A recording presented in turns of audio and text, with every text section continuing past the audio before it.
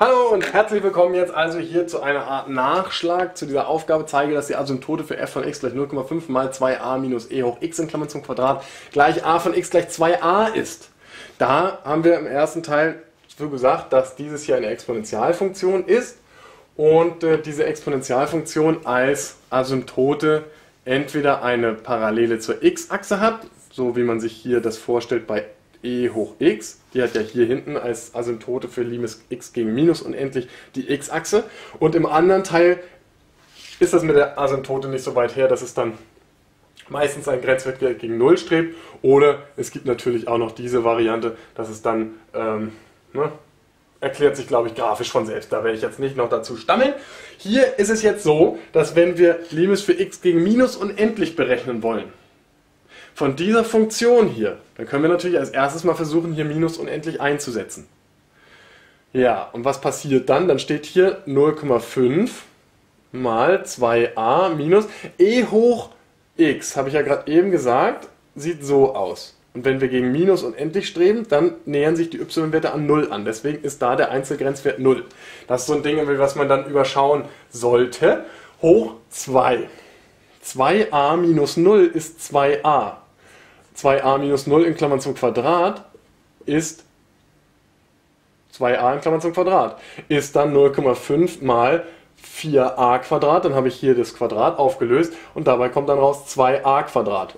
Jetzt machen wir hier natürlich äh, gerade Freestyle und nicht irgendwie hier von wegen, wie, wie wir das in, in Wirklichkeit machen sondern ähm, man könnte es zum Beispiel jetzt hier verbal lösen, dass man sagt, der Grenzwert von e hoch x, was die einzige Term ist in dieser ganzen Gleichung, äh, der mit dem x zu tun hat, der Grenzwert von e hoch x für x gegen minus unendlich ist gleich 0.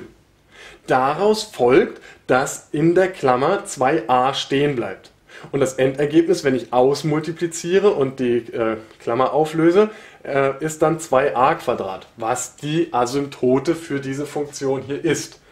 Dieses Ergebnis stimmt nicht überein mit dem Ergebnis aus der Aufgabenstellung und deswegen ist die Asymptote, Asymptotengleichung a von x gleich 2a Und ansonsten, wenn das jetzt ähm, aufgeschrieben werden muss, könnte man jetzt zum Beispiel äh, gleich folgendermaßen vorgehen, dass man das aufschreibt wie folgt. Aber das ist jetzt auch wieder so eine Sache, wo ich den Hinweis loswerden muss, wenn du ähm, sicher gehen willst, dass das nachher als richtig beurteilt wird, dann solltest du, was die Schreibweisen angeht, nochmal unbedingt deinen Lehrer oder deine Lehrerin vor Ort fragen. In diesem Fall ist es jetzt so, dass wir sagen können, Entweder wir multiplizieren das aus, dann steht hier Limes von x gegen minus unendlich von 0,5 mal 2a minus 4a e hoch x plus e hoch 2x. Dann haben wir das Ganze nämlich hier nach der binomischen Formel ausgerechnet und den Potenzgesetzen, die dazugehören.